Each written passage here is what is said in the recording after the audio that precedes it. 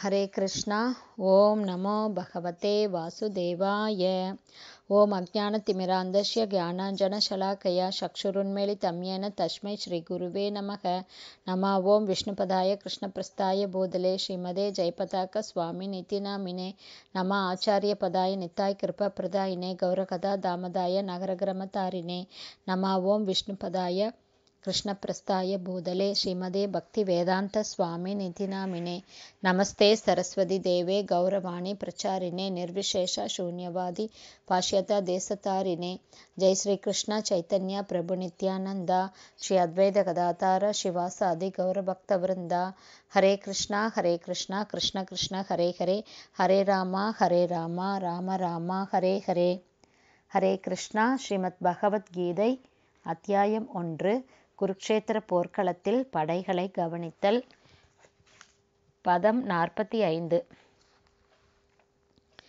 யதிமாம் அப்பிரதீகாரம் அசஸ்திரம் சஸ்திரபாணயக தார்த்தராஷ்டிரா ரணேஹன்யுஸ் தன்மே க்ஷேம தரம் பவேத் டிரான்ஸ்லேஷன். திருதராஷ்டிரர் மக்களுடன் போர் புரிவதை விட ஆயுதம் இல்லாமலும் எதிர்ப்பு காட்டாமலும் அவர்களால் நான் கொல்லப்படுவதையே சிறந்ததாக கருதுவேன். இவ்வாறு அர்ஜுனன் ஸ்ரீ கிருஷ்ணரிடம் கூறுகிறார். Purport by Srila Prabhupada Jai Srila Prabhupada. சத்திரிய போர் நெறிகளின்படி ஆயுதமற்ற போரை விரும்பாத எதிரியை தாக்கக்கூடாது என்பது வழக்கம். இந்த குழம்பிய நிலையில் அர்ஜுனன் எதிரியால் தாக்கப்படினும் போர் புரிவதில்லை என்று தீர்மானித்தார். அவரது எதிர்த்தரப்பினர் போருக்காக எந்த அளவு ஆயத்தமாக இருந்தனர் என்பதை அர்ஜுனன் கருதவில்லை. பகவானின் மென்மனம் படைத்திருந்த பக்தனாக இருந்ததன் அறிகுறிகளே இந்த சிந்தனைகள். ஹரே கிருஷ்ணா. இந்த பதத்தில் ஸ்ரீல பிரபுபாதா என்ன எக்ஸ்பிளைன் பண்ணுறாருன்னு பார்க்கலாம். இந்த வேர்ஸில் யுத்தம் செய்கிற நெறிமுறைகளை பற்றி தான் சில பிரபுபாதா எக்ஸ்பிளைன் பண்ணுறாரு க்ஷத்ரியர்களுக்கு போர் நெறிமுறைகள் ரூல்ஸ் அண்ட் ரெகுலேஷன்ஸ் நிறைய இருந்தது. ஆயுதம் இல்லாதவங்களை தாக்கக்கூடாது. அதே மாதிரி போர விரும்பாதவங்களை ஒருத்தர் தாக்கக்கூடாது. அடுத்தது இரண்டு சேனைகளும் Um, ஈக்குவல் ஸ்ட்ரென்த் uh, இருக்கிறது மாதிரி இருக்கணும். ரெண்டு சேனைகளுமே uh, ஈக்குவல் ஸ்ட்ரென்த் அதாவது சமபலம் உடையவங்களாக இருக்கணும். அதே மாதிரி ரதப்போர் வீரர்கள் அவங்களுக்கு ஈக்குவலாக இருக்கிறவங்க கூட தான் சண்டை செய்யணும். Uh, குதிரை வீரர்கள் குதிரை வீரர்கள் கூட தான் சண்டை போடணும். யானை மேலே இருக்கிற வீரர்கள் யானை மேலே இருக்கிற வீரர்கள் கூட தான் சண்டை போடணும். அதே மாதிரி காலாட்படைகள் அவங்க காலாட்படைகளோட தான் சண்டை போடணும். ரதத்தில் இருக்கிறவங்க ரதத்தில் இருக்கிறவங்க கூட தான் சண்டை போடணும்.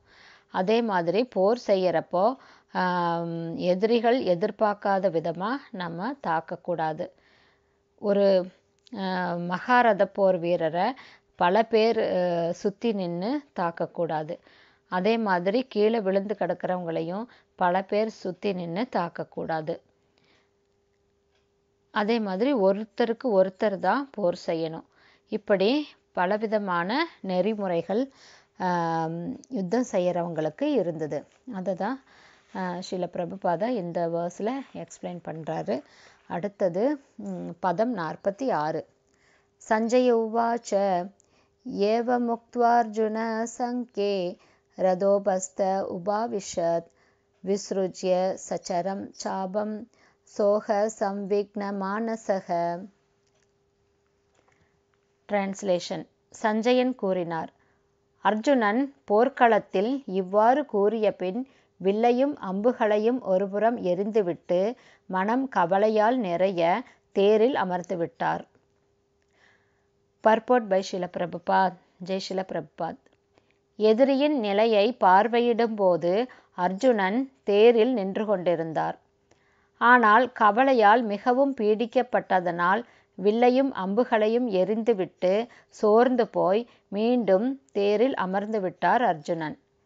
இறைத்தொண்டில் இது போன்ற மென்மையான அன்புடைய இதயம் கொண்டவர்கள் ஆத்ம ஞானம் பெற தகுதியுடையவர்களாக இருக்கிறார்கள். ஹரே கிருஷ்ணா இந்த வேர்ஸில் பிரபுபாதா என்ன சொல்கிறாருன்னா மனசு அர்ஜுனனுடைய மனசு கவலையால் நிறைஞ்சு அதனால் அவர்னால் போர் செய்ய முடியாமல் வில்லையும் அம்புகளையும் ஒரு புறம் போட்டுட்டு தேரில் உட்கார்ந்துட்டாரு அர்ஜுனன். அதுக்கு அடுத்தது பகவான் கிட்ட இருந்து பகவத்கீதையை கேட்டதுக்கப்புறம் பதினெட்டாவது அத்தியாயம் எழுவத்தெட்டாவது பதத்தில் கீழே எரிஞ்ச வில்லையும் அம்புகளையும் எடுத்து போர் செய்ய தொடங்குறாரு அர்ஜுனன். இதுதான் பகவத்கீதையோட தனிச்சிறப்பு அப்படிங்கிறது தான் சில பிரபுபாதா சொல்கிறாரு அடுத்தது அர்ஜுனன் ரொம்ப மென்மையான இதயம் கொண்ட கொண்டவராக இருந்ததுனால அவர்னால் போர் செய்ய முடியல அப்படிங்கிறதையும் சில பிரபுபாதா சொல்கிறாரு அவருக்கு ஆத்ம ஞானம் ரொம்ப இந்த டைமில் தேவையாக இருந்தது அப்படிங்கிறது தான் சில பிரபுபாதா சொல்கிறாரு பகவான்கிட்ட இருந்து பகவத்கீதையை கேட்டதுக்கப்புறம் அர்ஜுனன் போர் செய்ய ஆரம்பிக்கிறாரு. இந்த ஸ்ரீமத் பகவத்கீதையை கேட்கறதுனாலும் படிக்கிறதுனாலும் தியானம் செய்யறதுனாலும் அதைய உள்ளபடி தெரிஞ்சுக்கிறதுனாலையும் புரிஞ்சுக்கிறதுனாலையும் நமக்கு கண்டிப்பாக ஆன்ம பலம் கிடைக்கும்.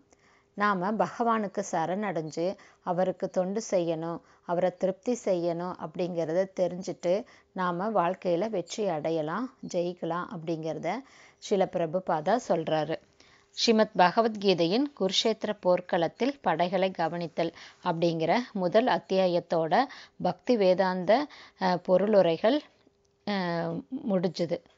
இனி அடுத்த சாப்டர் பார்க்கலாம். ஹரே கிருஷ்ணா ஸ்ரீல குருதேவ்க்கு ஜெய் ஸ்ரீல பிரபுபாத் ஜெய் ஹரி போல்